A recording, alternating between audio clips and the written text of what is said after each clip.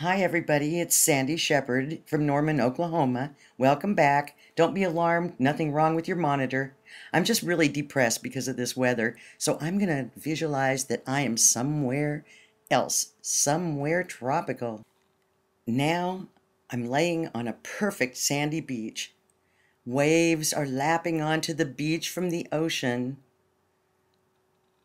There are beautiful and exotic tropical flowers everywhere. And I'm wondering now what's under the surface of that aqua blue water. I'm trying to visualize what kind of fish might be under there. I've never been a scuba diver, so I've never had the opportunity to go too far under the surface of the ocean. But I'm sure there are many, many beautiful things right now. And I'm laying here on this beach with the sun beating down on me and ah, there's a cool tropical breeze and it makes everything just perfect. And then, oh, wow, look at these parrots over in the trees. And oh, now there's going to be a beautiful sunset coming, I can just tell. And now, oh, look at those whales. But holy cow, now what?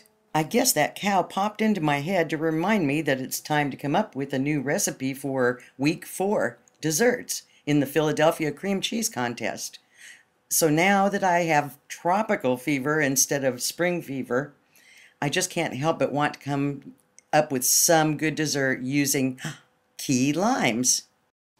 Okay, here's what I've come up with. I'm going to call my dessert my key lime infused cake bites with double strawberry and chocolate mint Philly spreads.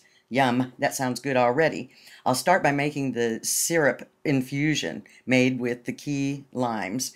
In a small saucepan over high heat, whisk together the water, the sugar, lemon and lime zests, and the key lime juice.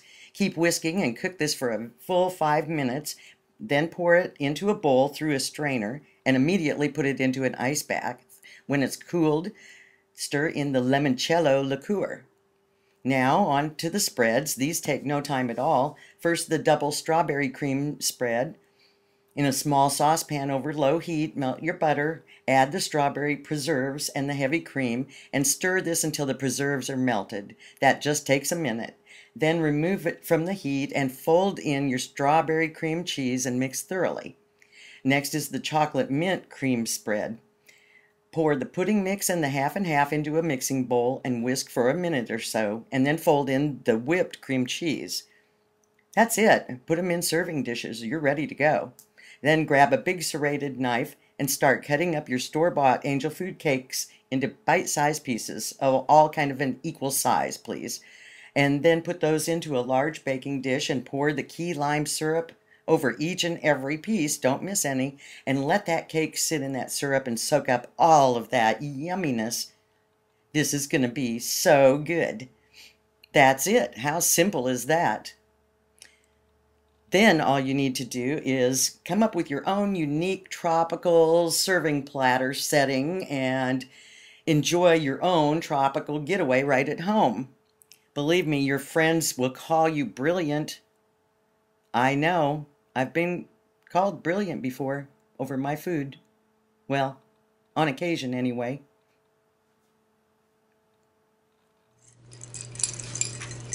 And now I'm back. Let me show you the dessert. It really turned out good. Oh, I am so excited about this dessert. Just using two little containers of Philadelphia cream cheese, strawberry and just regular whipped. And look what we came up with.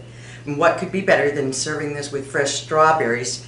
But what is better than strawberries and chocolate fudge mint? Well, I'll tell you what's better with it. What's better is putting it all over these little key lime infused cake bites. So I'm going to try one now. Start with the strawberry. Let's see what we have here. Mmm. Delicious. A definite winner. How about the chocolate mint? Mmm. I don't know how anything could be better than that, but mmm. Mmm. Just as good. This is just the perfect, light, little dessert with a tropical feel that'll boost everybody's spirits, I think, when they taste it. So hopefully you will taste it.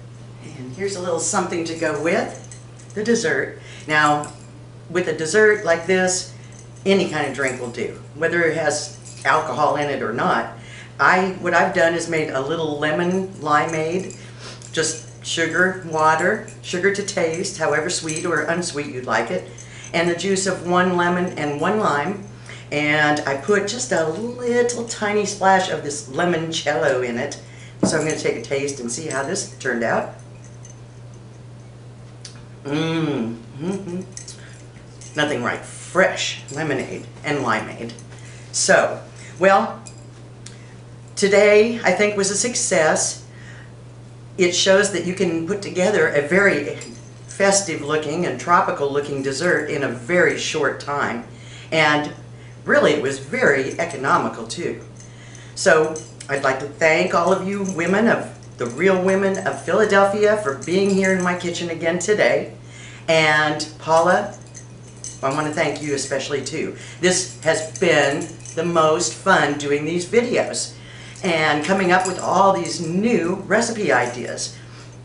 And of course, there's not enough time in the day to watch everybody's videos, but there have the ones that I have had an opportunity to look at just all look wonderful. And ladies, you're all doing such a good job on your videos. So, I'll see you next time. I'm feeling a little sore here. I think I might have got a little sunburn on that trip of mine. I'm going to go check it. Bye.